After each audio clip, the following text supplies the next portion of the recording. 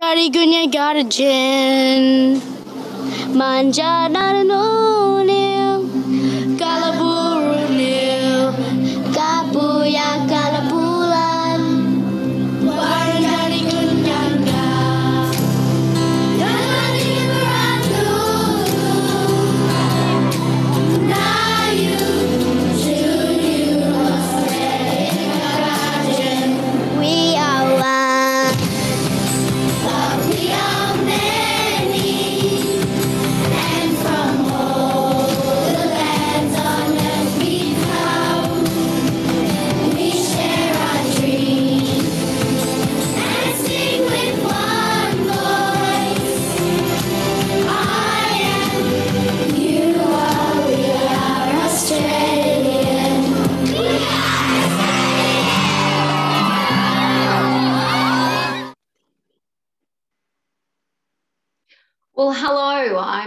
Duggan, and together with the chair and co founder of the Minerva Network, Christine McLoughlin AM, we welcome you to our celebration of women in sport on this green and gold day. It is so wonderful to have so many of you joining us.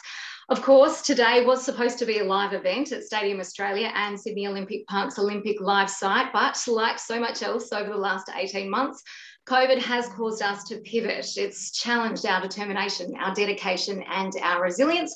So here we are online, and we thank you all for joining us today from wherever you are. I'd like to acknowledge the traditional custodians of all the lands on which we meet.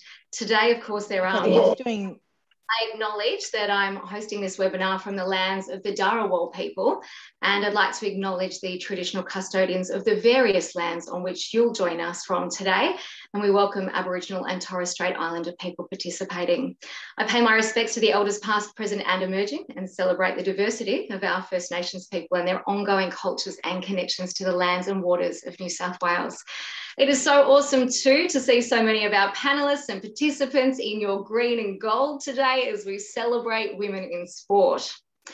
From equal pay agreements to amazing comeback stories, record audiences, and new media deals, women's sports are in the spotlight now more than ever. Leading brands are now beginning to appreciate the value of aligning their brands to successful female athletes or para athletes and properties that have growing fan bases. Sports leagues are being introduced, others are expanding, TV deals are being done, and women are achieving remarkable results on the world stage and at home. But we need to recognise too that not all results are remarkable. In fact, some are tales of heartbreak, of the almosts, of the so close moments. And many are not about gold or glory at all. In fact, they're the triumphs and tribulations of the non professional athletes who are struggling to make ends meet while putting all of their time, energy, and funds into a belief and a desire to be the very best. Our Olympic team for Tokyo is the second largest contingent we've sent overseas. Among that team of 472 athletes is a record number of women, 254 in fact, pulling on the green and gold in Tokyo this month for the Olympics. And in August, it's our Paralympians' turn with representation strong there too. For the first time, men and women will compete alongside each other on the track and in the pool in what's been termed the gender games, although we all know there's always room for improvement. Locally, post Olympics, as this unprecedented pandemic tightens its grip, administrators, advocates, athletes, and all of you joining us today need to remain vigilant to ensure that women's sport is not relegated to the sidelines. Today, on this event, we're shining a light on our women. They're doing a pretty good job so far, and wasn't it wonderful and emotional to see Jess Fox, Ariarne Titmus, Kaylee McKeown, our Matildas, our Stingers, our Sevens, our Opals, and our Hockey Roos all going great guns, and some of those are back in action tonight. And of course, athletics gets underway today too, with Hana Basic and Rose Davies making their Olympic debuts. Today, we're going to celebrate the truly elite, the cream of the crop, those who've made it to the top, and some who've gone on to excel. We'll hear from our recently appointed Minister for Sport, Natalie Ward, who you'll see is a massive advocate of women in sport. We'll get some insight from Paralympians and Olympians and their families. We'll celebrate their success and learn from their disappointments. And we'll also showcase the Minerva Network and how it's supporting our female athletes. Now, on the Minerva Network, it is a not for profit organisation supporting over 180 athletes and you can help by making a tax deductible donation to Minerva through the Australian Sports Foundation website. You can get involved today too on this webinar. We have the chance to ask deep burning questions you might have, and there is some time to still buy tickets to the raffle. There are some great prizes there, including corporate suites, a round of golf with Alyssa Healy. She'll probably win, just let me remind you of that, or coaching from Maddie Proud, among some other items that you can also see on the screen. The link for the raffle is in the chat. And if you haven't already grabbed a ticket, it'll be drawn a little bit after two. And we'll encourage you to join in on social media. Also, those handles are on the side of my screen and also on the main screen. Events like this, of course, can't go ahead without the support of event sponsors. And on behalf of Christine and I and the Minerva Network across, we'd like to say a big thank you to our event sponsor, Western Sydney University, who stayed on stoically despite today's event being forced online. Our event partners, Business Western Sydney, Sydney Olympic Park Authority, Sydney Olympic Park Business Association, Stadium Australia, and Venues Live and Venues New South Wales. Now, all of our registered guests, you have been muted, but if you'd like to ask a question, you can pop it in the chat or in the Q&A section and we'll try to get to as many of those as we can. If you'd like to spread the word, as we said, you can search for the Minerva Network on Twitter, Instagram and LinkedIn and the hashtags are hashtag Minerva Network, hashtag celebrating women in sport and hashtag green and gold day. As we mentioned, today's event could not be possible without the generous support of Western Sydney University, represented today by Dr. Andy Marks as the Assistant Vice Chancellor at Western Sydney Uni and the CEO of the NUW Alliance. Andy leads a major strategic higher education initiative with the government, industry and community. He's also the Director of the Centre for Western Sydney, Chair of the Western Sydney Community Forum and a non-executive director with Wentworth Healthcare. He's the founder of Catalyst West's Interactive Policy Forum and the Launchpad Startup Incubator. And prior to this role, Andy was a researcher in the social services sector, a council member at the University of New England, and is an ARIA nominated professional musician and composer. So for now, it's over to you for the official welcome, Andy. Great, thanks, Amy, and thanks everyone for joining us. I'm really the kind of uh, square peg in the round hole today. So uh, this is about the achievement of women, and I think the Olympics have just shown us, as Amy's mentioned, how extraordinary uh, women are. As if we needed reminding. I think um, as a university, we're very interested in researching how we get greater participation from women in the economy, and I think it's really brought to the public consciousness the, the success that is possible when you free women up to, to be a part of those things. And I think the recent examples we've seen in, in multiple leagues, some of which Amy mentioned, shows just uh, how much women can excel um, far and above the accomplishments of men in, in similar in similar fields. So it's so exciting to see that success play out again uh, in Tokyo, and particularly when we're all under the doona, quote unquote, um, waiting for uh, some kind of, uh, I guess, sign of optimism, and they've delivered so it's been more than a, an achievement in sport, it's been an achievement in raising the social consciousness of, of what's possible if, if we uh, support women to be their best. Uh, and that's something we're committed to at Western Sydney University. And in all of the roles that I have, um, we want bias. We absolutely want bias uh, the other way. It's not about um, men stepping off, it's about men stepping down so women can can come on through and, and that's the, the little part that we try and bring at the university. I've sat on too many panels and been to too many events um, where it's been wall to wall blokes and it's boring it's stayed and it's the same old conversation. And isn't it exciting what's possible when you get women in the room and they lead? So that's it from me. Uh, suffice to say that um, the university has a very exciting uh, initiative in uh, planning for the Sydney Olympic Park area. I can't say anything more about it at this stage. Suffice to say, it's going to be incredible, uh, and I'll share details with you when I can. But um, we want to get behind women's sport in particular, elite sport, in a very, very substantial way with a range of partners. And um, as soon as I can say something about that, I will. But today uh, is going to be a fantastic conversation. And as things go at the moment, with everything going virtual, I'm told that I'm actually here to introduce a virtual minister, or the real minister, in fact, uh, who's doing a great job in a really critical um, portfolio of sport. And that's the Honourable Natalie Ward. Uh, she's Minister for Sport, as I mentioned, but for multiculturalism, um, seniors, and veterans, all of the strong suits in the community, I think. Um, so without further ado, I'm going to throw to virtual Natalie, Minister.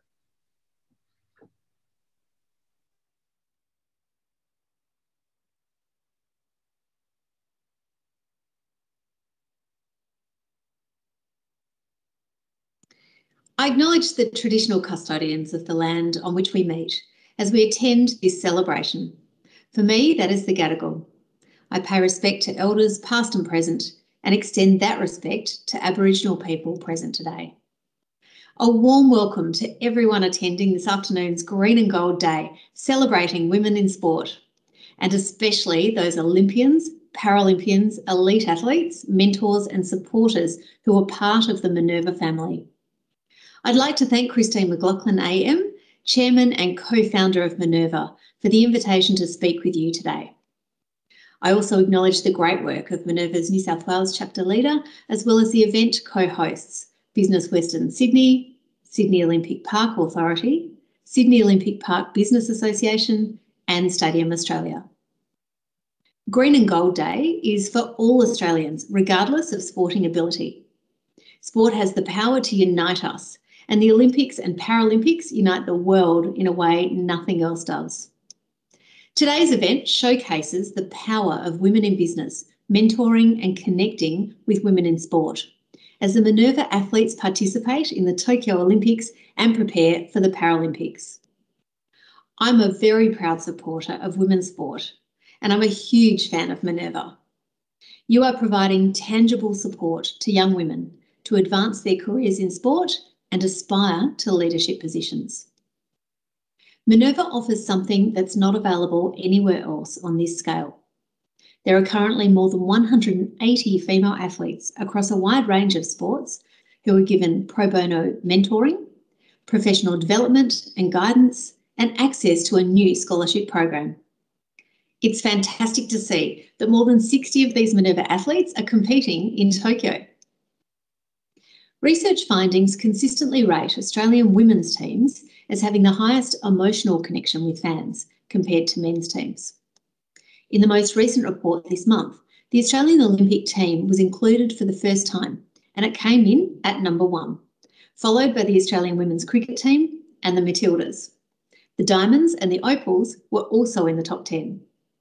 Clearly, our women athletes are influential role models. They send the message to our young girls that they belong in sport. Raising the profile and upskilling female athletes to realise their potential is important to drive cultural change in sport at all levels, and that's something I am unashamedly passionate about.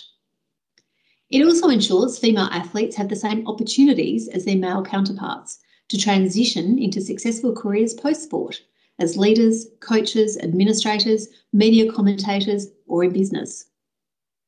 Sporting codes are starting to realise the commercial and social value of engaging with women and the power of female role models. But sadly, there's still a long way to go for women in sport to achieve equity with their male counterparts in pay, conditions, and recognition. In 2021, the New South Wales Government invested $112.3 million in initiatives to support women and girls in sport. This funding includes $150,000 to the Minerva Network to continue and expand the great work you do in mentoring, professional development, and guidance for female athletes. Your mentors are some of the most successful female business leaders in this country, and we want to work with you to leverage this expertise to help develop initiatives. We want to provide a showcase for current and future female athletes, and we're leading the way in hosting major women's sport events as part of the New South Wales Government's 10 World Cups in 10 Years initiative. I'm so excited that New South Wales will be hosting the 2022 FIBA Women's Basketball World Cup, that Australia and New Zealand are jointly hosting the 2023 FIFA Women's World Cup, and Australia is hosting the 2027 Netball World Cup. Part of our bidding for these events includes a strong legacy focus.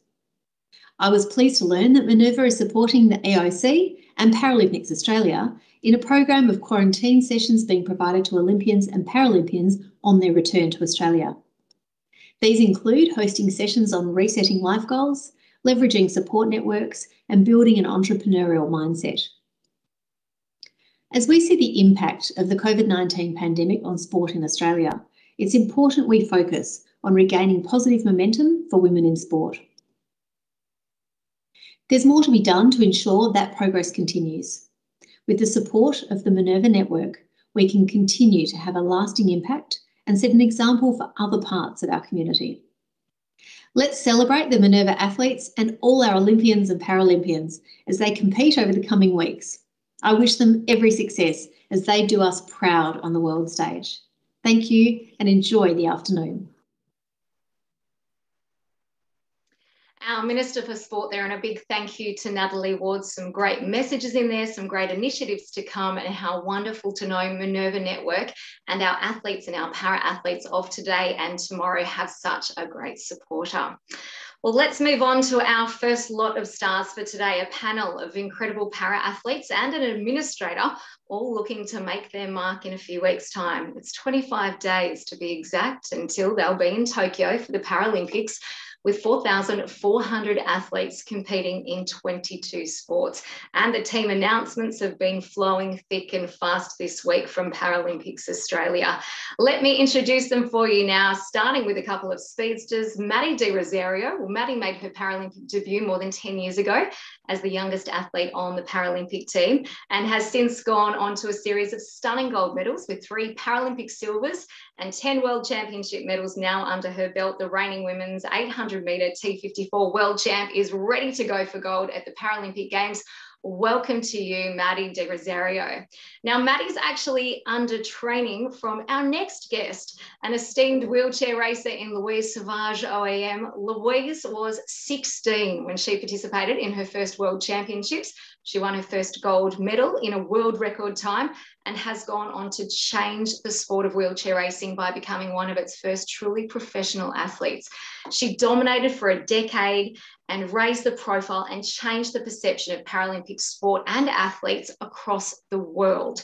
She's a true game changer with almost 30 gold medals from Olympic and World Championship events. It's easy to see why she's an Australian Paralympic Hall of Fame inductee, and currently the wheelchair track and road elite development coach at New South Wales Institute of Sport and coaches Maddie. Welcome, Louise. It's great to have you with us and the administrator who helps make all of this possible for athletes across our country, Lynne Anderson.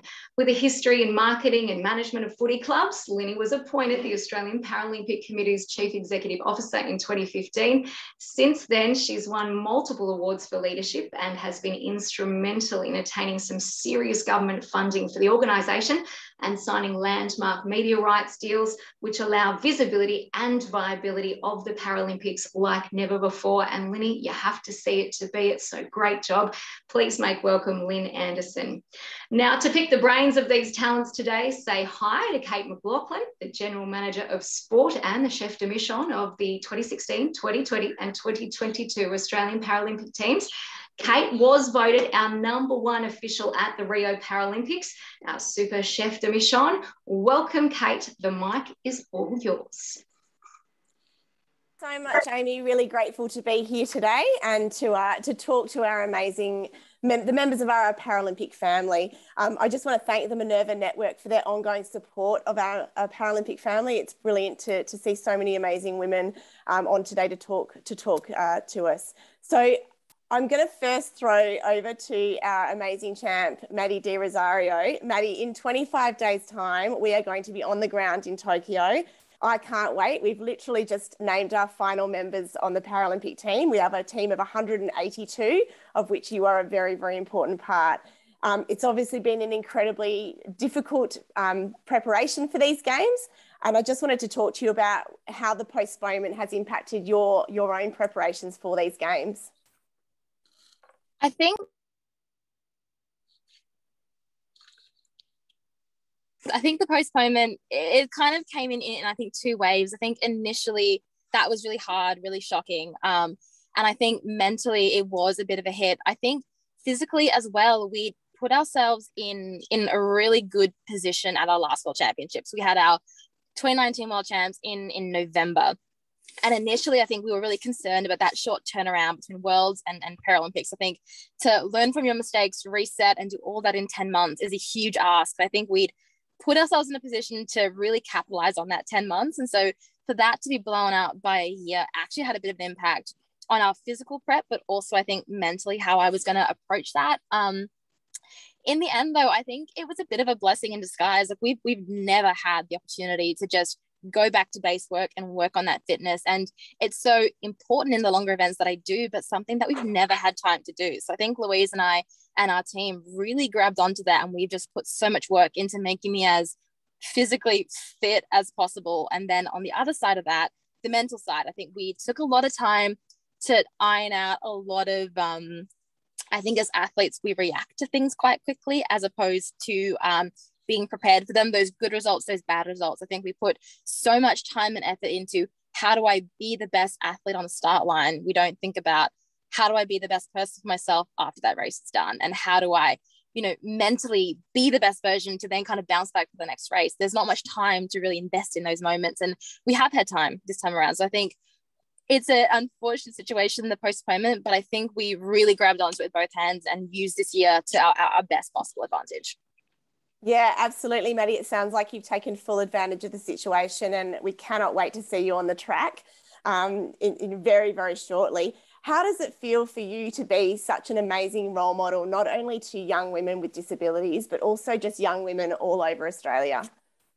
Oh, it's um you kind of you do notice it in in moments. Um, I think one of the things that I love about our Paralympic family very much, but I think also women in sport at the moment is we're very aware of the impact that we do have on communities. I think we understand that people with disabilities and, and women are incredibly underrepresented in, in every form of media that we have. And so I think that every woman athlete I've met through the Minerva Network, one of the reasons we're here is because we want to capitalize on the impact that we have. I think we do take that very, very seriously. And so I think that, you know, there is moments where it hits you pretty hard, the impact that you have. And it always comes from a message from a little girl or, or, or her mom or her parent, kind of just letting you know. And I think it, it does hit you because we're kind of just there bearing ourselves in training trying to do the best we possibly can and then you you do see that in those moments what you can do and i think i'm so proud to be a part of a family of, of, of athletes, of, of women, of people with disabilities who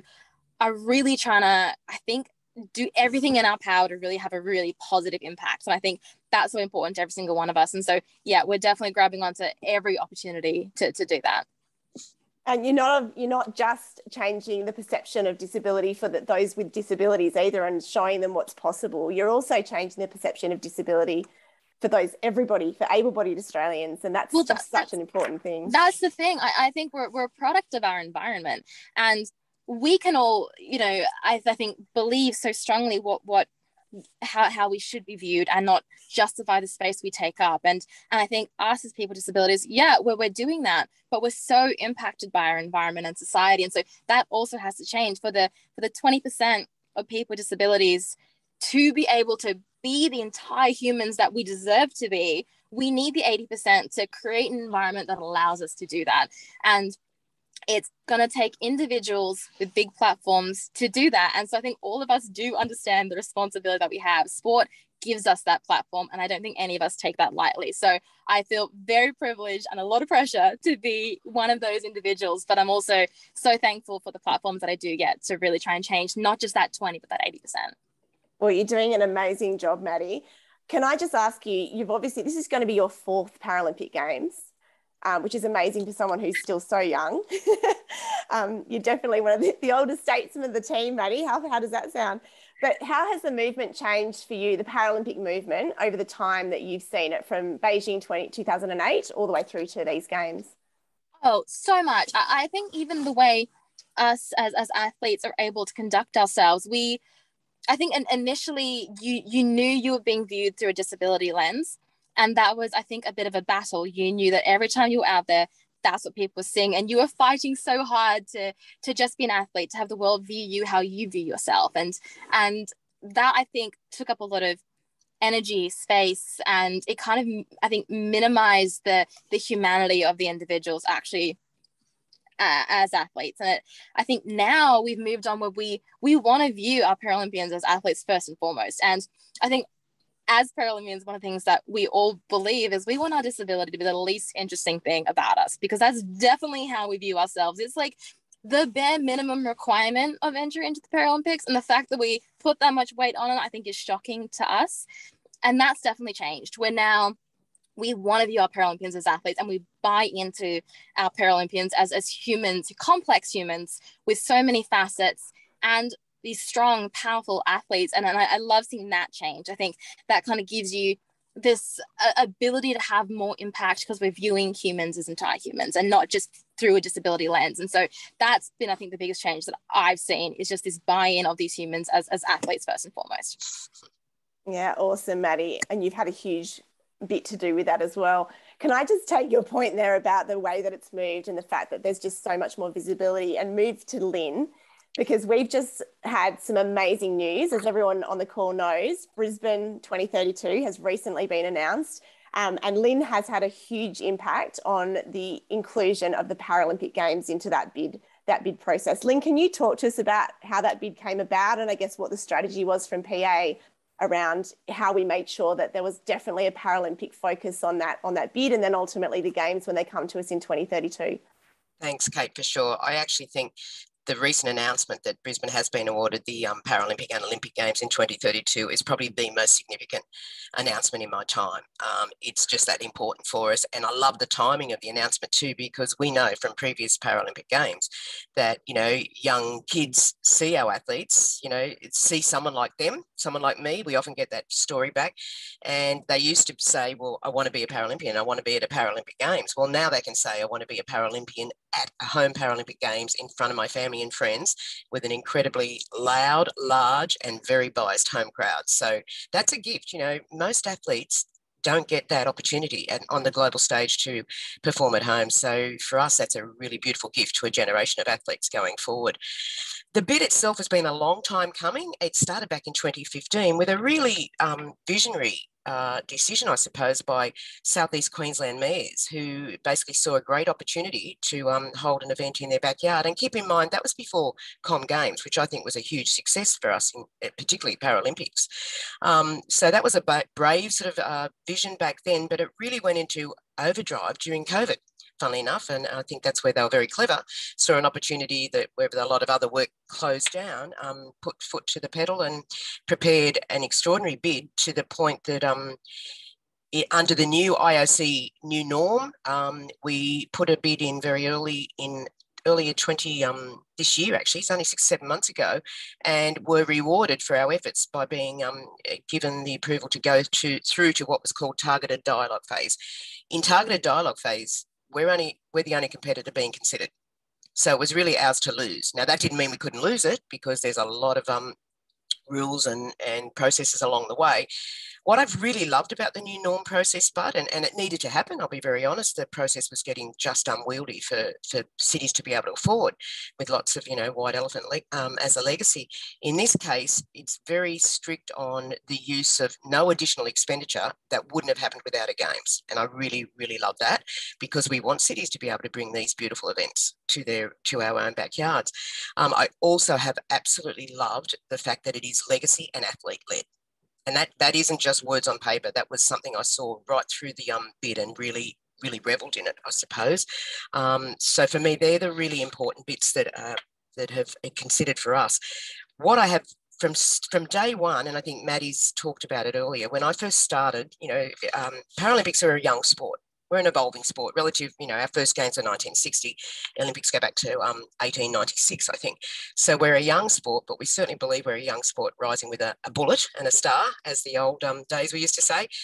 And so for me it was really important that in another 11 years time our big vision was we want to be seen as side by side on that global stage at every stage of a game's development. So from for the bid team to bring us in now has been fantastic, and we have made we've pushed hard to say, you know, every time you say Olympics, you must say Paralympians, and you must consider us up front so that when you're building your um, venues, it needs to have you know, expert advice from Paralympians around what really is accessibility. You might have a ramp, but a ramp might take you three kilometres out of the way. So all of those issues now, we're putting it up front at the very beginning, and it's been embraced. We've been really thrilled to the point that um, we actually had a couple of nice little wins. The first time ever in a bid logo, you had the Paralympic logo side by side the rings, and that was a really important win for us. Might not seem much to everyone else, but it is is important to us. Um, so for me, it's been actually beautiful that off the back of the announcement, um, there's been really nice recognition from the Paralympic movement and several legendary Paralympians to say we've never seen um, a Paralympic involvement so much. And that's been really rewarding, but got a long way to go. Absolutely. And we're looking forward to getting over to Tokyo very soon and celebrating with all our counterparts from other NPCs. It's, it's a, a, certainly a really special time, not only for the Olympic committees, but also the Paralympic committees. Yeah. I'm now going to throw over to Louise, um, a living legend of Paralympic sport, of sport in general in Australia. Um, Lou, I'm going to ask a similar question to what I asked Maddie as well. You know, you've been around a long time. You're now in a coaching role. You're getting to coach Maddie and, and coming over to the games in that role as opposed to an athlete. How have the Paralympic Games changed over the time that you've been involved Oh, so much, Kate. Um, yeah, it's changed a lot. Um, this will be my eighth Paralympic Games. That makes me very old. Uh, but I did do four as an athlete and now four as a coach. Um, but yeah, when I first got involved, I really didn't know what I was getting myself into. But um, but yeah, it's changed a lot. Um, you know, the athletes now, the funding, just the recognition they get, um, the sponsors that have come on board to support not only Paralympics in general, but um, the individual athletes, and you know, them taking you know the time to, to see what marketability they have and that, that they're equal and as maddie's already talked about that already and just for me, that is just phenomenal. And for me to be part of that and see this change uh, in Paralympics is just, it just blows my mind. And I just hope it gets bigger and better. And you talk about equality, um, that would be awesome. Uh, I mean, uh, Paralympics does mean parallel, so parallel to the Olympic Games. Uh, not many people know that. Um, so it's actually perfect um, when you talk about the bid, Lynne, um, with regards to being parallel to the Olympic Games. It has to be Paralympic and Olympic. I say Paralympic first because I'm slightly biased, but um, we all are, mate. yeah, sorry. Um, I think also uh, when you touched on that, Lynne, about you know having a home games is just phenomenal. I can personally talk about that, and it's just another level. And you know, again, I'm biased that I think Sydney really turned the tables on uh, Paralympics and how it should be, and how the athletes should be respected and viewed and just the the way you know we were perceived and the general public got involved and it was just phenomenal. And i think that's it's it's carried on and to see that go even further in another 11 years would be phenomenal especially in australia. Um, i just can't wait to see the athletes and some of the guys the juniors and, and developing guys that i work with now you know for them to have that little carrot there is just phenomenal. So yeah i've seen so much change over the years and i hope to see it continue and just get bigger and better and Lou, what about the role of women and how that's changed, you know, over the time and where could that be improved? Because that's something we could perhaps focus on as well, knowing that we have that big carrot of 2032. How can we improve the role of women in Paralympic sport? I think in general, just the opportunities to participate in the sport. Um, but the women, yes, definitely bring it on, I say. Um, I'll take on any more wheelchair races, especially the women. Um, Maddie might not like that, sorry. Um, but uh, don't worry, you're still number one. Okay. You'll be having uh, chats later. yeah. um, but yeah, I think the, the opportunity to participate more than anything is, is probably the number one and, and encouraging the women. Um, it doesn't matter. I mean, uh, you know, I, I, think a lot of times it's it's whether you have a disability or not. You know, your your body image is probably one thing that's it's that stops a lot of women from doing a lot of things, and especially sport. Um, I can honestly say, and maybe I'm at the prime old age where I don't really care anymore, but um, you know, I'm totally out of proportion. But you know, I was built to be a wheelchair racer. So you know, I'm very grateful for the body that I have and the function that it gave me and what I ended up achieving. Um, so that, that's just one thing, I suppose, that discourages people, but it, it can also be a positive. Look at it as a positive. Look what you can do with that body that you've been given, or, or you know, whatever happens, you know, along the way. So, um, yeah, I think just you know, the more encouragement we can have for, for anybody to participate, especially women, then I'm all up for it, and I'll help you out. Don't worry. I tell you what, Lou, that you say you've got a body for wheelchair racing. There are so many coaches within Paralympic sport across a number of different sports who reckon you've got the body for a number of other sports as well. uh, she's been targeted for downhill skiing, she's been targeted for archery, shooting, you name it. And Lou, I'm sure you'd be amazing at all of those if you gave it a crack. if I wasn't so broken, then maybe I'd have a go. That's brilliant. Look, um, I'm conscious of time, but I, I, think it would be really good to finish off by just going around to all of you. We've got Tokyo in 25 days' time. Maddie, I know that your focus is fully on your competition, but what what is it going to be mean to you to be part of the wider Australian Paralympic team, and what are you looking forward to most about these Tokyo Games? I think I'll be so relieved when to, to know that it that it is going ahead. I think one of the biggest concerns I had outside of my selfish concern about games not going ahead was that the impact sport has on communities is is enormous, right? Like it's why we invest so much, but it's also why I think we do get the platforms that we have and why we buy into athletes isn't because it's this, you know, far away, unattainable kind of person. We all relate so heavily to sport. And I think when COVID, our first lockdowns happened, um, men's sport, professional sport obviously came back very quickly. It bounced back um, before we were even allowed back in the gym here um, in Sydney is when men's sport was back on our TVs and professional sport. And I think something to, to note there is, is, you know, men's professional sport is going to be protected. That that's what's going to come back. And, and that means that the portions of our community that are affected by the Paralympics and Olympics not going ahead is our women and it's our people with disabilities. So I think seeing the Olympics go ahead, seeing the the women athletes right now, so many of our Minerva athletes, you know, compete at the moment, like Kate's bronze medal this morning, like Jess Fox's gold last night, like girls are seeing that, you know, young, young moms raising daughters are seeing that, and and that's that's huge, and that doesn't happen without the Olympics. We don't see powerful women on our TVs in all of their strength and femininity without the Olympics.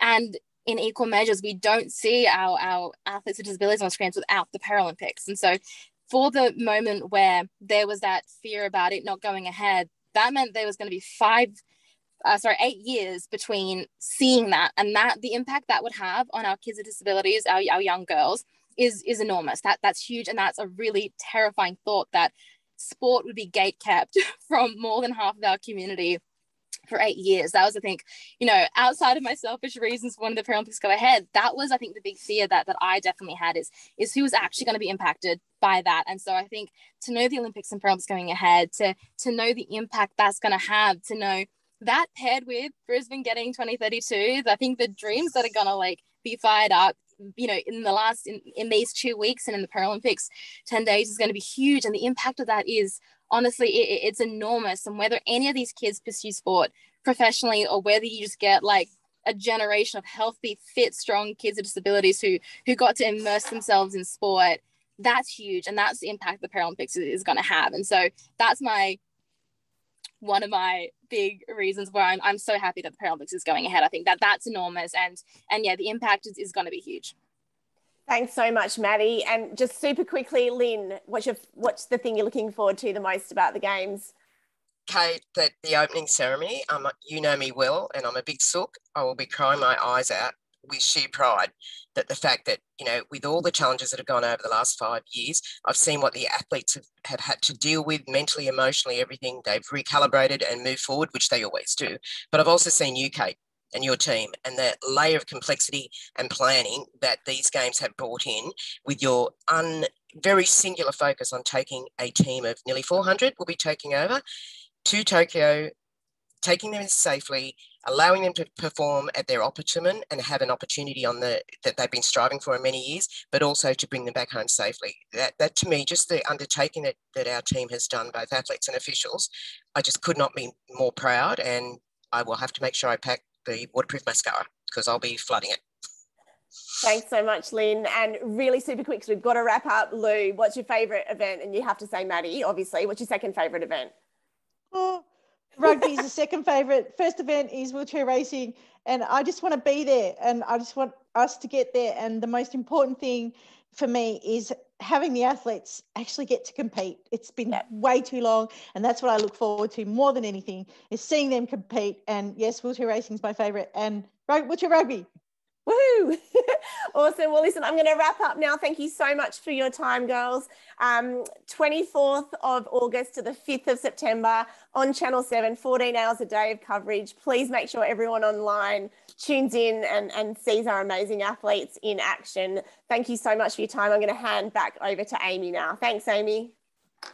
Thank you so much. Some real game changers there and some fantastic insights and lived experiences that we can all learn from.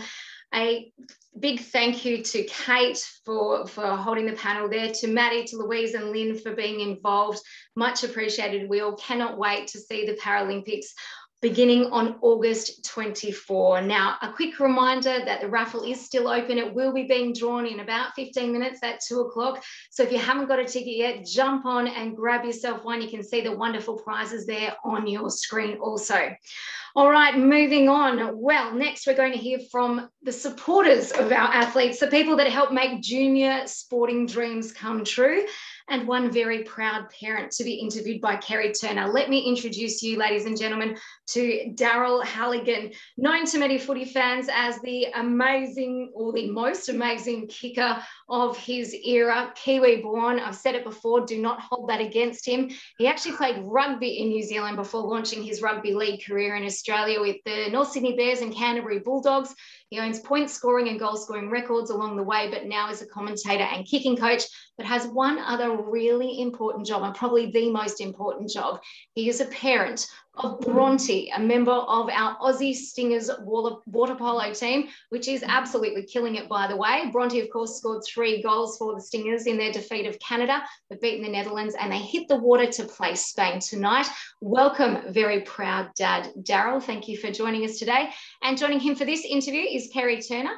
Kerry is a former world champion herself. She played 108 test caps for Australia in water polo, competing in five World Cups and two World Championships. Her passion for sport has fueled her professional career. She has over 25 years experience working across Australian sport. That includes board and advisory roles in sports and in government. She's a multi-award winning project manager, an innovator and a strategist, and is currently leading the New South Wales government's Women in Sport strategy called Her Sport, Her Way. Welcome to the microphone. It is all yours, Kerry. Thanks so much, Amy. And that last panel was just a delight. I really enjoyed everything about it. And I'm loving the Olympics. I'm sure you all are. And it just reminds me so much. It's about the stories behind the stories. It's the individual triumphs that's backed by the unconditional love of family and friends. It's about the green and gold, and we've got we tear up every moment. But for this Olympics in particular, for me, it's the wonderful bond that's coming out between their fathers and their daughters um, kicked off the other day by um, Kaylee McKeown and a wonderful gold medal win, um, dedicated by and inspired by her late father. I mean, gosh, that was so emotional. But right today, we have Daryl Halligan with us. Daryl, the proud father of Bronte Halligan, who plays for the Stingers in number cap number four, who had an, uh, an amazing debut, scoring a hat trick against Canada.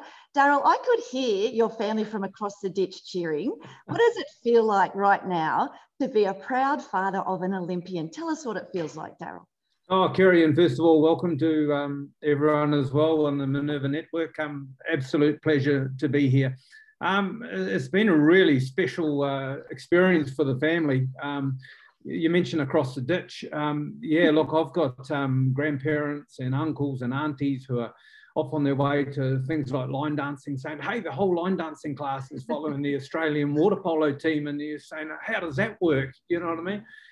And I, I guess um, as part of our, our family living here, preparation um, to watch Bronte is, is actually celebration. Um, uh, we painted a, one of the sheets we grabbed off uh, one of the beds with um, the Olympic rings on and uh, Go Bronte, Australian water polo, and we threw it over the balcony and it's proudly hanging there now. Um, and for me, look at me, green and gold. Who would have thought? You know, I've got a whole new apparel here. I've got hats and caps, and then all of a sudden, but I don't know where this one came from. Uh, that one sort of like better get that out of the road. But uh, yeah, no, it's, it's been awesome. I don't know if green and gold are my colours, but uh, they are for the next uh, couple of weeks and well into the future. Well, um, they suit you and they suit Bronte. I was so proud of her performance, Daryl. She's a sharpshooter like a dad. Um, and I just, I just know like she's had such, such success already in water polo. She made the Australian team at 17.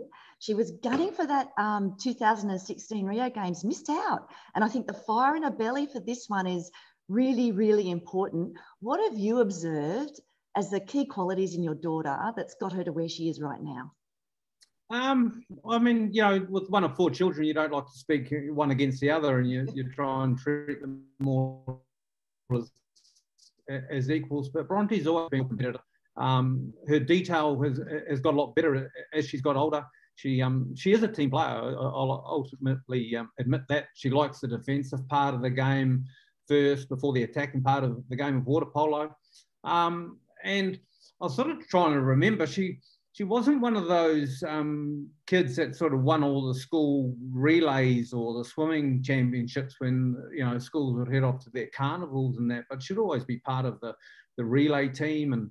And she wasn't always first out of the bed either when the kids swam in the morning. And um, she'll tell a story where I used to actually wake her up. And I, I, thought I was just giving her in the morning a little tap on the side of the head to say, Hey, Bronte, come on, time to get up, you know. And, and apparently I was drilling her in the forehead like, like this to get out of bed. But uh, maybe she's exaggerated that a little bit, but I always thought it was quite nice and just good. But she apparently sort of had like nightmares from that, she reckons now. But uh, in the end, um, you know, she got up, she competed with the rest of the um, the children, um, and, and and she developed a little bit later too, which is quite nice. Yeah, the dedication's an extraordinary for any water sport because it's a 4 a.m. start quite often, isn't it, Daryl? I mean, you're a land man. You must think we're crazy, us water people.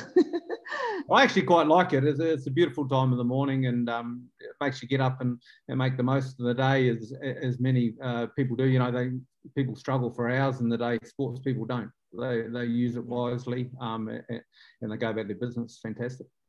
Like all the Minerva Network um, um athletes, Daryl, um, is just a high performer outside of the pool too. She's studying at the UCLA, a psych degree with a major in um, or a minor in disability um, area. And I think uh, Lynne Anderson would be very happy about that, your yep. former colleague at, Bank, at Canterbury Bankstown.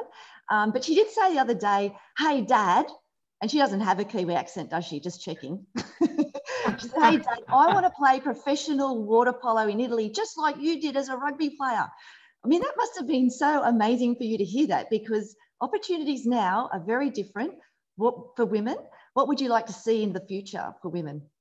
I hadn't actually grasped that in, in, until that moment, um, which again was a little bit late. I, I marvel at the opportunities the children have, um, you know, to go to college and, and, and follow their one academic careers and also their sporting careers now too, um, such as Bronte, you know, there's swimmers, the rowers, you know, she's got friends who are soccer players out of um, Australia that have gone through UCLA with her um, in America and they've, they've had fantastic opportunities. And so for a young woman to understand that those opportunities are out there to, for, for them to, to flourish um, is, magnificent. Um, and then just the other day, um, Bronte come home and she said, oh, possibly after one of the Olympics, I might like to go and play off in Greece or Italy. And she said, oh, I think I'll go to Italy because you played some rugby in Italy before you played rugby league, Dad. And I, that was one of my first professional opportunities was to go to uh, to Italy and, and play some rugby union before coming to league. And she said, I think I'll go down that Italian one just to, to keep it a little bit synopsis in the family. And um, it sort of triggered something going, wow, these these girls really do have opportunities out there now where possibly, you know, back uh, in my teens, it might might not have been the same opportunities there in front of them. And, and you just have to embrace that and go, you know, it, it probably makes them different people. Yeah, and you're not the only uh, footy dad. Um, we've got Phil Kearns, the father of Tilly Kearns. There's something about this rough and tumble play that transcends into the water, isn't it? Well, Phil's got more of a swimming background. He was actually a swimmer before he um, uh, played played uh, rugby, and I actually played against Phil in um, some under 21s games um, back in the day. So our careers um, or courtesy of the children, Tilly and uh, Bronte cross paths again now. We um we argue many things of sport, trans Tasman, as you would un understand, but we have a common goal in the in the girls, you know, with what they're achieving at the moment, and, we're both in all really. I mean, um, Phil's got um, a couple of strapping lads as well as uh, also another daughter, so they're a fairly sporting family. But um, the girls get um, equal presence in that household as well. Well, my final question, Daryl, it's been so much fun talking to you, but we do know that fathers play a unique role in, in, in sort of supporting their daughters, um, not only their social emotional well-being, but, you know, growing sporting skills. And a quick shout out to the University of Newcastle people that are tuned in today. It's a guy called Professor Phil Morgan has done a lot of research in this. And you are a really a great representation of what it's what it what it's about to be a father. You've got three daughters; they're all amazing athletes, and a son as well. Um, any tips for any dads chiming in? And I do think Nick Hockley, the CEO of uh, um, Cricket Australia, might be chiming in as well. He gets what you're about to say. But um, any any um, any tips for fathers uh, today about just supporting your daughter on their journey in sport? Oh, I just think you. There's a couple of great ads on at the moment, which I really embrace, and it's about getting them to the start line. Um, you know, uh, we used to have this big um, Volkswagen Caravelle um, minibus that would just um, basically load kids up with and take them off to the swimming pools, to Narrabeen Sports Academy there or Ringa Aquatic, you know. And basically what you're doing is actually just facilitating them, getting them to the start or, or putting them and giving their introduction to sport. And then just do it over and over again because they'll soon grasp it, take it to the next level. And before you know it, you're smiling like anything and you're mm. sitting here watching um, your daughter in Tokyo and providing so many happy things for many, many other parts of your family, you know, and even your newly adopted country, if, if that's what it is, you know, it just opens up so many connections um, by just giving a child a start. And, and that's all, all fathers do and, and mothers do it too. I always, um, even now when I hold my dad's hand, it always feels like it calms me down. So look, it's so wonderful, Daryl, to speak to you. Go the Stingers, go your daughter. They play Spain tonight. Everyone needs to tune in. Um, you must be so proud, and I, um, I'm, I'm really happy that uh, you can have this wonderful experience. I just don't know how long I can continue to wear this on the go. This doesn't come off now. I mean, uh, the game's not till uh, 10 to 10 to 9 tonight, but it, it stays on all, all afternoon. Love it. Over to you now, Amy. Thank you. Thank you, Daryl. Thank you, Daryl, and thank you, Kerry. And a reminder to everyone that game does start tonight at 8.50 against Spain. We wish them all the best. Well done, Kerry. Well done, Daryl, and the Dads and Daughters program certainly uh, gaining a lot of traction with all those Olympic daughters in competition at the moment. We're going to move on now and hear from some of our superstar Olympians. Some of them have been there and done that, winning medals. They're here today to share their insight into success at the most elite level. So let me introduce them to you. Jane Wahlberger, or Jane Moran, as she was when she played water polo, is or was an aspiring teenage player and remembers watching Australia as a teenager win gold at the Sydney Olympics when the women's water polo was first introduced to the Games. Jane won bronze at the 2012 London Olympics in water polo, is the Athlete Commission Chair and a board director with Water Polo Australia. She's a civil engineer and a principal at Global Engineering and Advisory Consultancy Aurecon, who's also a Minerva official sponsor alongside Accenture. And she's a Minerva mentor. Jane has been the recipient of career shaping mentoring programs and is now an advocate for all the benefits Minerva provides to our stars. Welcome, Jane. Alicia Quirk represented Australia in international rugby sevens. She won a gold medal at the 2016 Summer Olympics in Rio, which was also the inaugural Games for Rio. Born in Wagga Wagga, New South Wales, one of my favourite places, had an expected last year that she would be chasing gold at the Tokyo Olympics. But when her hopes of winning back to back Olympic golds were put on hold in 2020, she used the break to pursue her other lifelong dream and that is motherhood, watching on this year with her aptly named baby Matilda. And I know she was there earlier, maybe she's disappeared now. She'll get a cameo from her later. Alicia, welcome. Daniel Kowalski, an Olympian in uh, 1996 and 2000, became the first man in 92 years to win medals in the 200, 400, and 1500 metre freestyle events at the same games. But it's silver in the 1500 metre in Atlanta that he's perhaps remembered most for, and we'll touch on that in a little moment. Despite securing the Australian 1 2 behind Kieren Perkins, Dan saw the silver medal as a failure. We'll dig into that.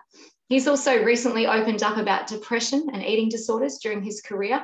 He's now the Olympian Services Manager for the Australian Olympic Committee and he's helping athletes make the difficult transition to everyday life after retirement. Welcome, Dan. It's great to have you with us.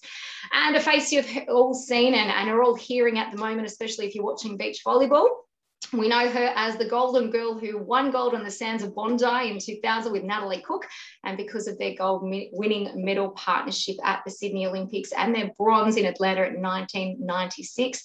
Kerri Pottharst, in fact, first earned fame as an indoor volleyballer representing Australia for 10 years, and a knee injury forced her off the hard court and onto the sand. And as they say, the rest is history currently commentating on the games and will soon appear on SAS Australia. A very big welcome, Kerri Pottharst, and all of our four Olympians. So much to talk about. Where do we start? Well, Kerri, the Olympics has been absolutely awesome so far. So many Minerva athletes have been in action. A godsend for all of us sitting at home in quarantine, but it must bring back some pretty amazing memories for you. What stands out the most? Was it collecting gold, climbing on the dais, or, or was it something else? I think it was the last point, Amy. I think it was the last point that landed out that kind of hit me like a bulldozer. You know, the ball was flying through the air. I chased it all the way to the line and then I let it go out and Natalie just screaming at me and diving on top of me. And, you know, all of a sudden, you know, you just, the focus that you have to have at that point as an athlete, you know, the match point or, you know, your final or whatever it is, is just so narrow. And then the moment that it happens, you touch the wall, you kick the goal, you, you know, you serve the, the ace, whatever it is, and you win the gold. And it's just like everything kind of explodes around you and you look up and you see everyone in the crowd of course not happening in tokyo but in the other Olympics, you see it all. You see the people, and um, when it hits you that you've actually achieved your your dream, your goal, everything that you've been working for, not just for four years, but for decades in some cases with many athletes, it just hits you like a bulldozer, and you experience every single emotion that, that there is. Thanks, Kerri. Jane, what about you? Were your Olympic memories in the pool or out? And how did you feel the first time you dived in as an Olympian? Oh, I think um, the the biggest memory was walking through the stadium for the opening ceremony. It was like I'm finally here. Um, I had a bit of a, a, story where I was one of the last uh, not to be selected for the 2008 Beijing Games. So I really took a, a knock to my ego and had to take quite a bit of time out and, and reconvene and really, really discover that no, I'm not done yet. I need to get back here. Um, and memory wise, it's probably the photo in the background. That's not actually a medal winning photo. That was when we won the quarterfinal against China in extra time and penalty shootout. It was absolutely down to the wire um, and just such elation that, that we were uh, coming up to, to be able to, to go for a medal. Awesome memories. Um, well, Alicia, you had a, a, meteoric rise to the national team um, and then a gold straight away, right out there. Um, did you think that you were a middle chance when you first went in? Yes, most definitely we did. Um, when I first started playing rugby, definitely not. I had no idea what I was doing, and um, yeah, was really shocked by the whole introduction into the sport. But as soon as we kind of got the ball rolling and centralized our program in 2014, there was really no looking back. And I was thinking about memories just then, and one popped to mind was um, Charlotte took a quick tap on the line in the gold medal match versus New Zealand, and she dove over and score and scored. And just before the game, the Kiwi coach had said how soft we were um, as a rugby nation, and that we feared the black jersey. And she got up from that moment and said, "That's how a bunch of touchies beep play rugby."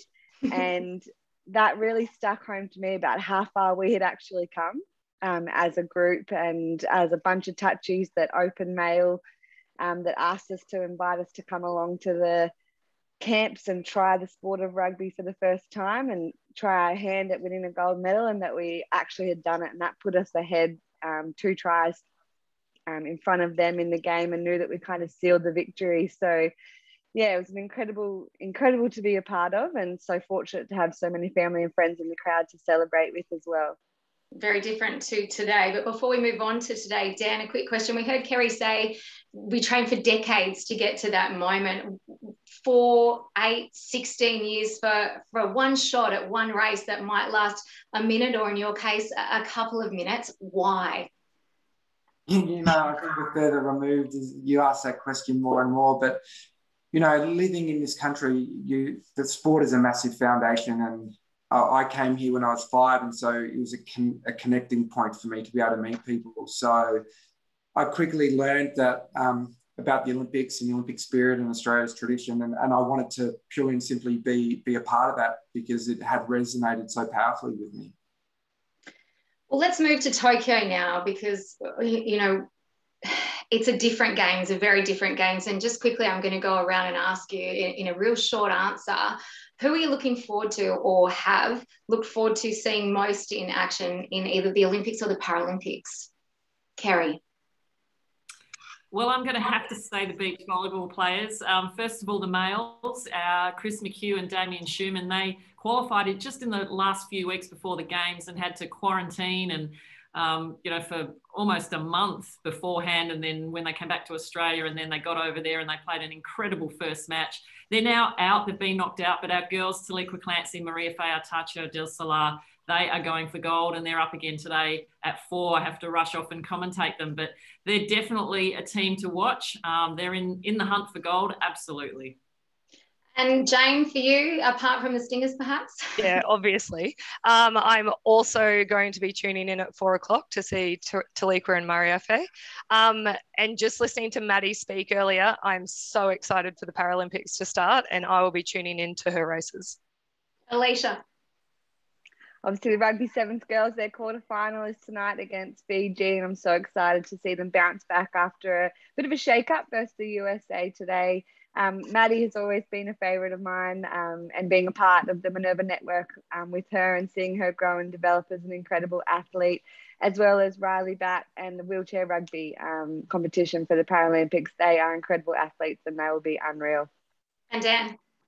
As Olympian Services Manager, I can have no favourites. I do well, but Jess Fox last night was, I'm still getting goosebumps now thinking about that amazing result. I mean, they've all been amazing, but that one really touched touched me. And um, Ellie Cole, I'm massive fan of Ellie Cole for a long time. She's just a great ambassador like Maddie for the Paralympic movement, and I, I really hope she does well.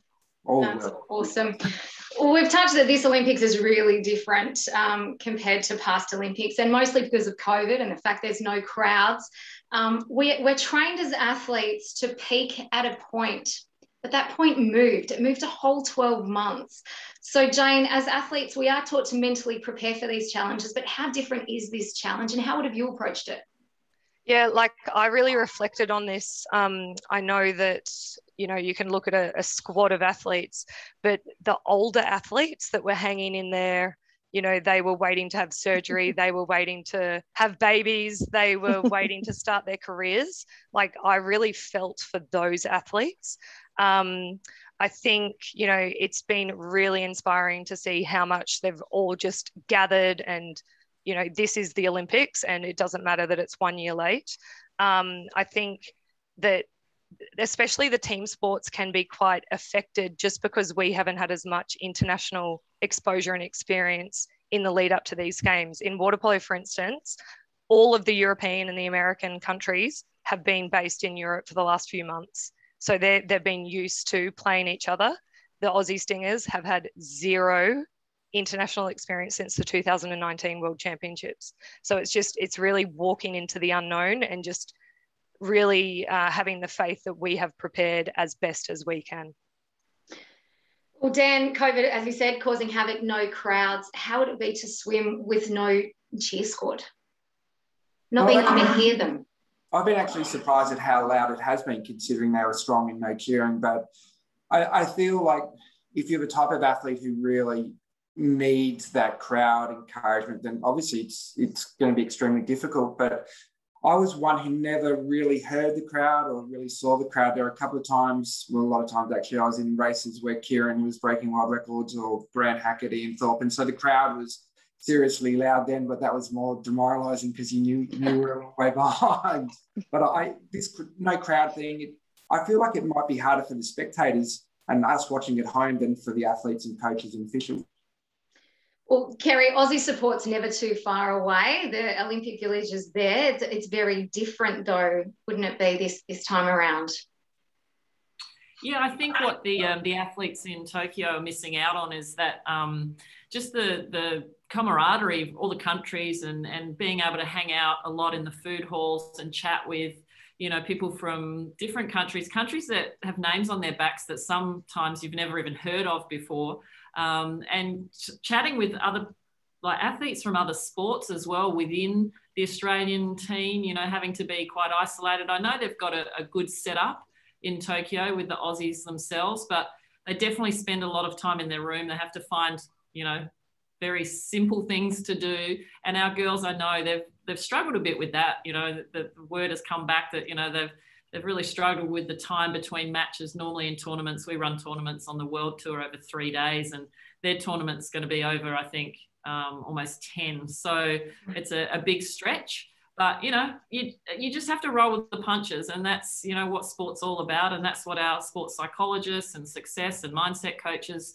will be you know teaching the athletes to do. Roll with the punches, just do what you have to do. You've you know they've planned for this. They knew what it was going to be like in Tokyo a long time ago. They knew that it was going to be tough, um, and they've set themselves up to just make the most of it.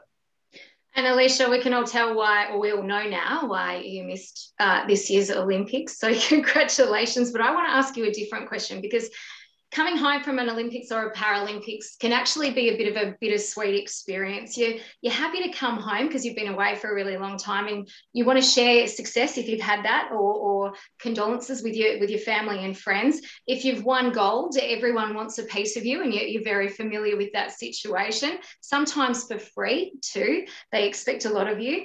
Um, but then comes this lull period. So, can you share with me your experience of coming home, what that was like, and what could have been done better to support you? Yeah, I think the elation was slow to wear off, but it definitely wears off after a period of time, and and the messages stop stop coming, and the influx of um, support stops. And because we were a professional program, the next job, the next tournament comes around, and you have to just get back on the horse and put the the gold medal behind you. And I think um, from both organizations and mentor programs alike, I think having that support network being greater and deeper to just facilitate the unknown um, is probably the best way to do it. Um, and the, pe- the best thing to enable athletes to help transition into that time.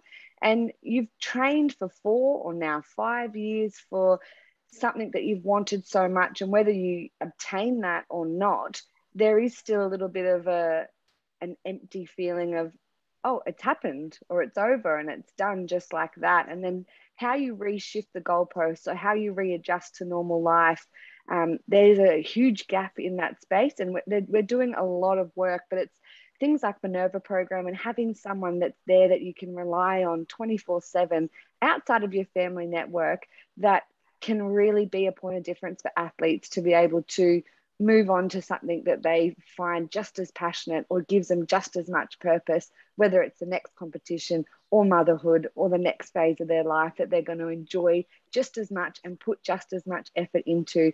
Because we all know Olympians are an elite level of human beings and the way they carry themselves in life, they've got the aptitude and the um, ability, to, ability to apply themselves to anything. They just need a bit of guidance. That's a really great answer. Let's explore that a little bit more because this time around, Jane, our athletes are going to have to quarantine on the way home if they're coming back to Australia.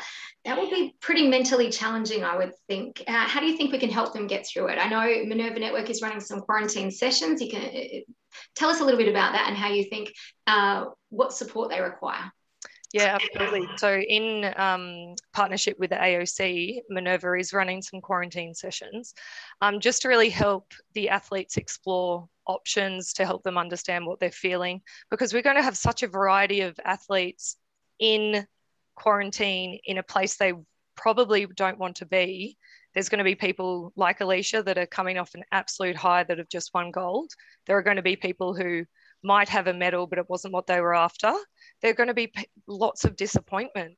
Um, so there's just such a variety of athletes um, without the support network that Alicia mentioned. So what Minerva and the AOC are doing is just really trying to um, patch that bubble, I suppose, of support um, in the absence of their usual support network. Um, Dan, I read an article about you where it said you beat yourself up about the way you saw things soon after your career and your swimming career ended. And um, you've recently opened up about some of those challenges. Do you want to share them with us and how you found the new you and what you wish you had during that transition time?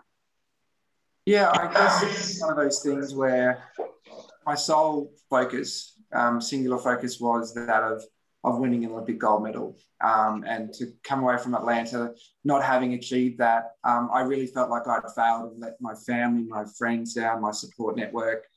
And it was really hard to um, to come to terms with the fact that it's something I should be proud of. And I, I worked very closely with a psychologist in the end. But for me, it was ingrained that that was a sign of weakness. It was a sign of vulnerability. Um, I had amazing support around me and it was all there for the offering. But I, I think in a lot of cases, many people are guilty of this.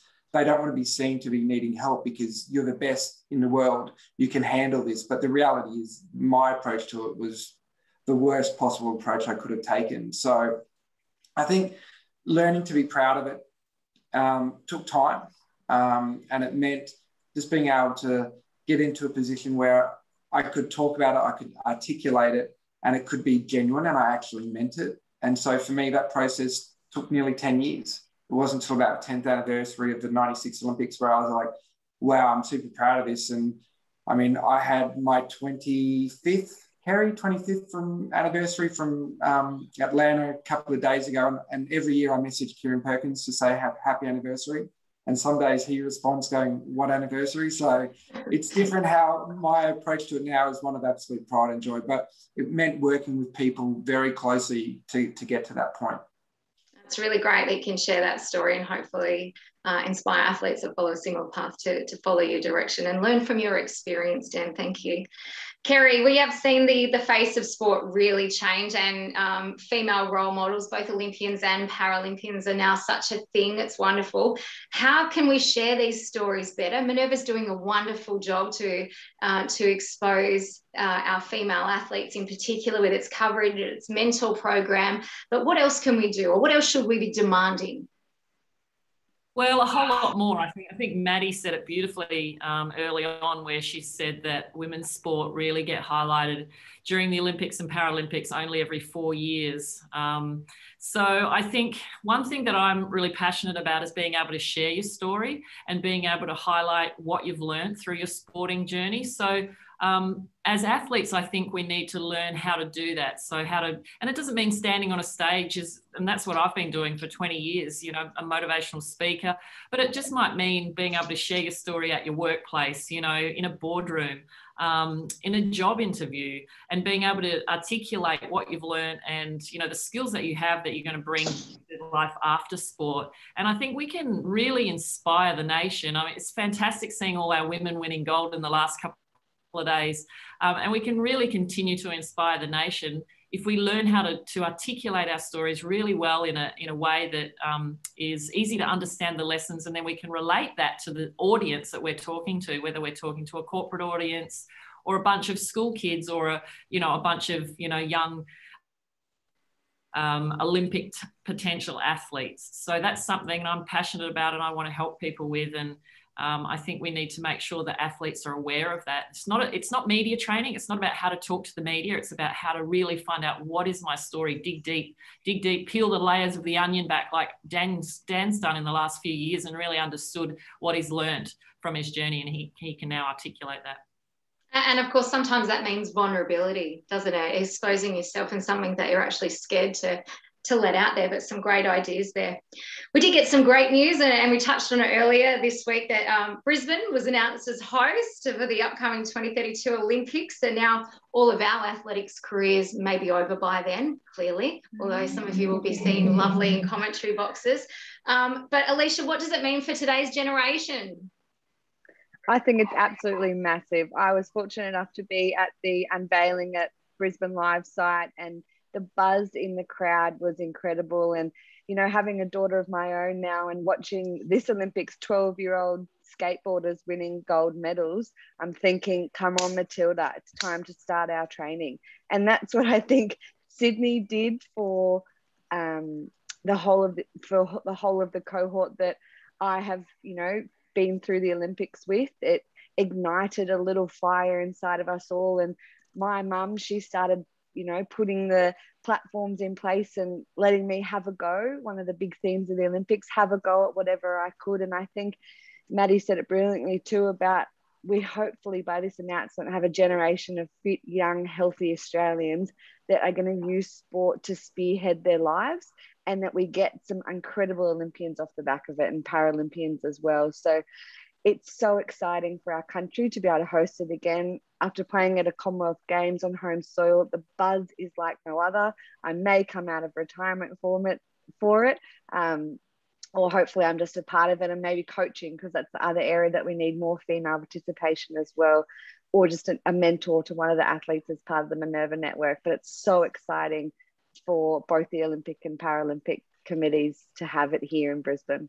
It sure is. And Jane, just quickly, your advice to aspiring athletes? Just do it. Give it a go. There's a there's a big um, program at the minute. Hashtag have a go. Um, if if 2032 isn't isn't the beacon to just give things a go, um, and I don't know what is. So absolutely everything's available these days. And yep. Dan, a couple of the traits that uh, athletes can take from their uh, sporting careers into everyday life and business. I think it's that attention to detail and, and that discipline.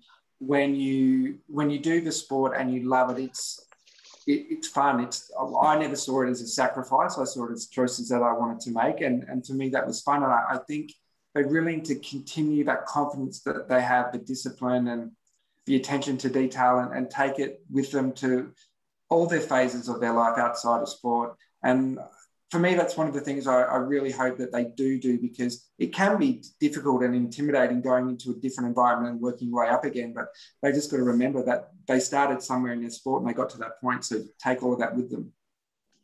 And Kerri, is it resilience or belief, self belief, or both? What's most important?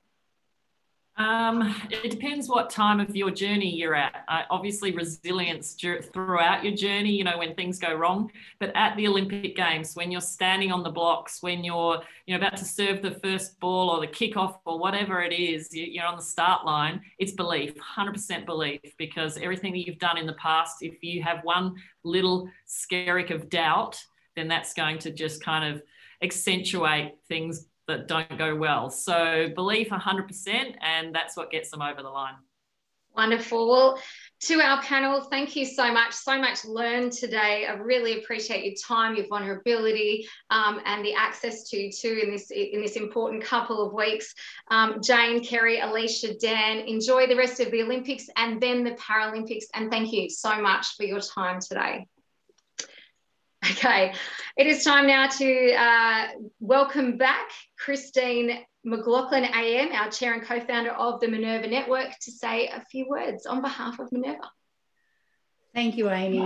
Thank you everyone for contributing and participating today. You've all given your time, the panelists and those of you who've tuned in to join us. It's just, it's quite overwhelming. Um, I'm sure I'm not the only one who's been screaming at the TV screen in recent days and and I hope that that will continue. I really can't thank enough on behalf of Minerva Network in particular. Uh, big, big thanks to our event sponsors and partners who made today possible um, to, to change from, I'm not going to say pivot, to change from a, um, an event at uh, Stadium Australia where the 2000 Olympics were to be an online um, format um, was all done very quickly. So thank you all. Um, and Dan's been working hard behind the scenes on that really uh, huge thanks to our event sponsor, Western Sydney University, um, Dr. Andy Marks, we heard from you earlier today. It would have been very easy for you to um, pull away um, when we moved away from a physical um, session. So really, really appreciate that.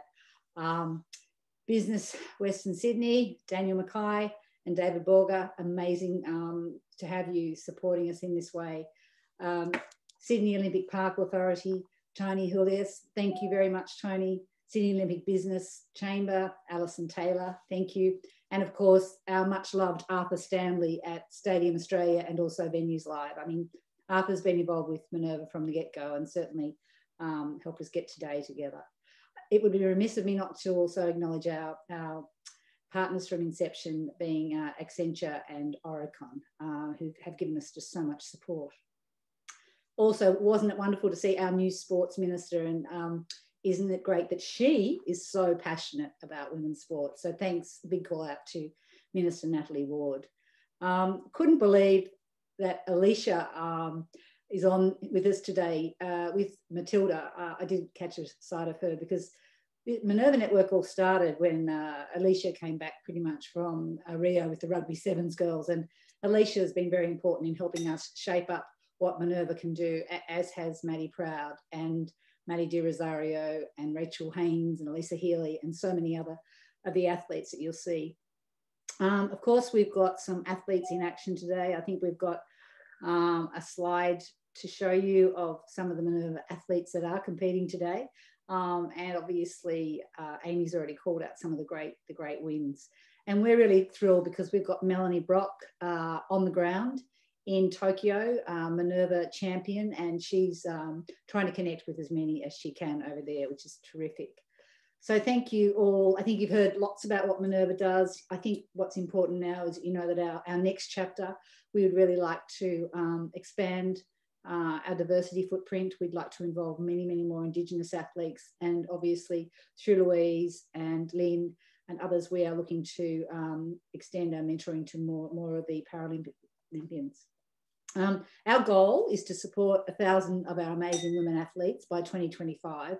And ideally, by the time we get to Brisbane um, Olympics and Paralympics, all the women uh, competing will have Minerva mentors or be involved in what we do. I'm really excited about the, uh, the master classes that we're going to be doing um, with the AOC. I think that's going to be really important. Um, we've learned a lot over the last few years about how we can help athletes, and we'll be doing that really what you want to know is who has won the raffle. So uh, the raffle has been independently drawn and I think the winners are going up. Um, but I've, I've, got a little cheat sheet here. So um, the Bank West Suite winner, Sally Lone, uh, golf with Alyssa Healy, Silvio Marinelli. I hope you're a good golfer, Silvio, because she certainly is. Kerry Burgess, the training session with Maddie, Maddie Proud. Lucy Judd is off to Vivid. Uh, Alison Hilda is off to Hamilton. Um, and Cherry Chikarovsky, a Western Sydney Wanderers jer jersey. Well, that might challenge her uh, where, where, she, uh, where her support goes.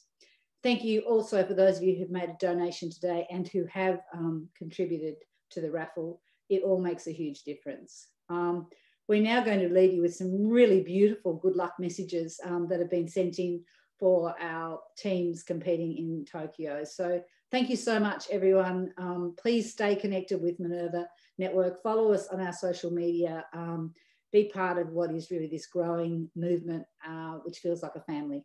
Thank you very much. Over to the, uh, the good luck messages, Amy. I'm Kimberly from SMB Breakers. My favourite player is Bronte Halligan. Go the Stingers! Hi, my name is Talia and I'm in the SNB Breakers 14s team. Wishing you all the best of luck at the Olympics. You guys are awesome. I love watching you. Go for gold, Stingers. I'm Katie. I'm in Breakers.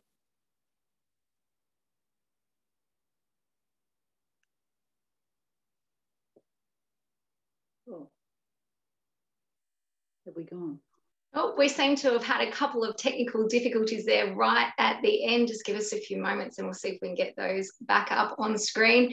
If we can't, thank you everyone for your time today. We hope you enjoyed the session, that you learned something, um, and that you understand the really great work that the Minerva Network is doing. If you'd like to get involved, don't forget you can make a donation through the Australian Sports Foundation.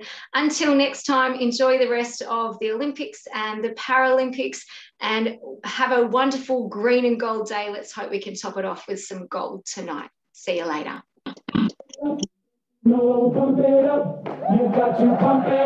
I'm Kimberly from SMB Breakers. My favourite player is Bronte Halligan. Go the Stingers! Hi, my name is Talia and I'm in the SNB Breakers 14s team. Wishing you all the best of luck at the Olympics. You guys are awesome. I love watching you. Go for gold, Stingers. I'm Katie. I'm in Breakers. Come on, Bronte. Let's do this for the Stella girls. And go Stingers. We really hope you win. I'm Nat Ryan. I play for SMB Breakers. My favourite players are Bronte and Hannah. Go the Stingers. Bronte, come back and coach. Hi, I'm Emma from Under 12 Breakers, and my family's been watching every single one of your games. And go Stingers, I love you guys. Hi, my name is Chloe from the SMB Breakers. My favourite player is Hannah Buckling. Go Stingers! Hi, my name is Jess. I'm from the SMB Breakers. It's been really cool watching the Australian water polo team at the Olympics. Fingers crossed for the next few games. Hey, I'm Ayana from the SMB Breakers. My favourite player is Bronte Halligan. Go Stingers! Hi, I'm Sophie from the Breakers, and we hope you win. And yeah, my favourite player is Bronte because she went to Stella, and I go to Stella now. So yeah, we hope you win. Hi, Stingers. My name's Isabel. I play for the Breakers. And good luck to all of you Australian Olympians out there, especially you Stingers. Go, go Tilly, go Keisha, go Hannah, go Bronte. Don't you know, pump it up. You've got to pump it up. Don't you know, pump it up.